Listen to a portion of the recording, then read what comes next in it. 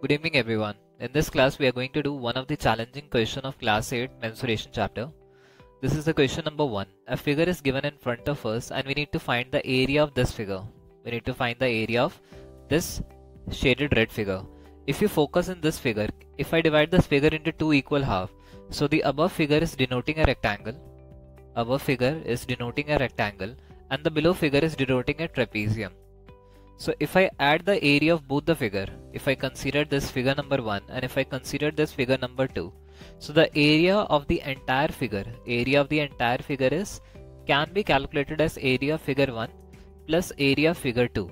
Area of figure 1 plus area of figure 2. Figure 1 is a rectangle so length into breadth will be the area and figure 2 is a trapezium and trapezium area we all of us know half into the sum of parallel sides multiplied by the height. Okay? Since we have intentionally drawn this line parallel to the this line so if this is 30 this is also 30 okay? So it means if this is 50 this is also 50 so the area of rectangle is 15 to 30 which will give us the area 1500 centimeter square. And if I calculate the area of trapezium one of the important part here is the height is not given but this is given. If the entire length of the figure is 80 and from here to here length is 50 so obviously the remaining length is 30 so we can see that the height of the trapezium is 30 this height is 30 so if I just plug in the value 30 plus 60 multiplied by 30 okay please don't cancel it like this. It is not possible to cancel. We can cancel 2 times 1 2 times 15 this can be cancelable so 90 multiplied by 15.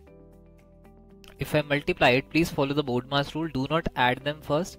Rather, we need to multiply 90 into 15 first. So 90 into 15 will give you 90 multiplied by 15 will give you 1350. 1350. And if you add 1500, if you add 1500, the area of the entire figure, the area of the entire figure will come out to be 2850 centimeter square. So this is the first challenging question of class 8. I hope you have understood this question and you have learned something useful.